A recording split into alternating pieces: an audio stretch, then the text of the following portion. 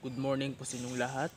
So ngayong umaga, ang topic ko po is all about bakit maraming mga Pilipino ay tumanda na lang ay wala pa rin ipon at nananatili pa rin mahirap. So bago ko i-reveal yung katotohanan, huwag niyo pong kalimutan mag-like, mag-subscribe para magkaroon naman po ako ng dagdag subscriber. So, una, ang dahilan kung bakit nanatili pa rin mahirap at wala pa rin ipon ay ang dahilan yung iisa lang ang income source sa buhay. Kaya ang hirap pag isa lang yung income na inaasahan natin. Pag yung income mo, inaasahan mo ay sa income lang ng pagiging empleyado, hindi lang talaga sapat yan kasi nasa survival income lang talaga yung mga kinikita mo. Kaya ang hirap pag wala kang reserba. Kasi para kang namamaniho ng sasakyan. Bumiyahe ka sa isang lugar, tapos biglang pumutok yung gulong. Boom!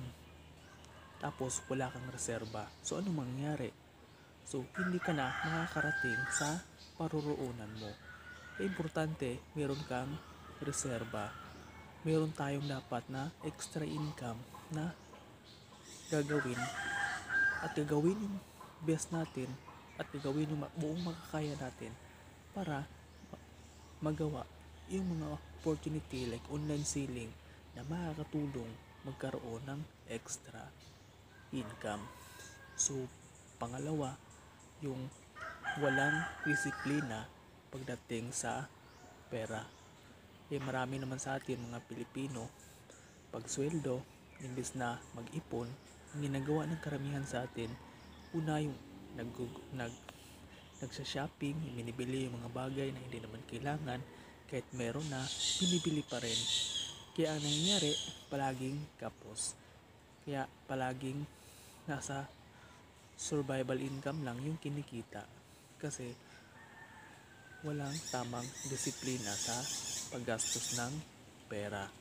Lalong lalo na ngayon na lockdown, talagang ang hirap. Kasi maraming negosyo ngayon tumirik at naubusan ng gasolina. Kaya importante, hindi tayo dapat maubusan ng gasolina. So ano ba yung gasolina na sinasabi ko? Yung gasolina, importante sa ngayong opportunity, sa ngayong panahon na lockdown, dapat tuloy-tuloy pa rin dapat yung biyahe natin, hindi tayo tumirik.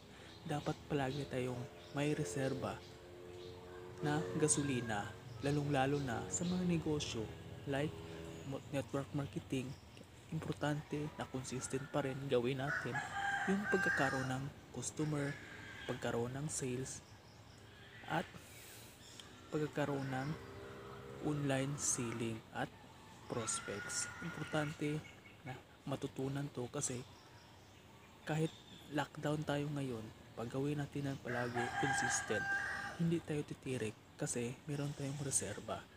Kaya ang hirap ngayon yung mga taong hindi alam yung yung gawin yung mga online selling. Kaya ang hirap tumirik sila ngayon kasi hindi nila alam kung paano patatakbuhin yung isang opportunity na kahit lockdown. Kaya importante palagi tayong merong gasolina. So sana makatulong to sa inyo para magkaroon kayo ng idea. So yun lang po, maraming maraming salamat po.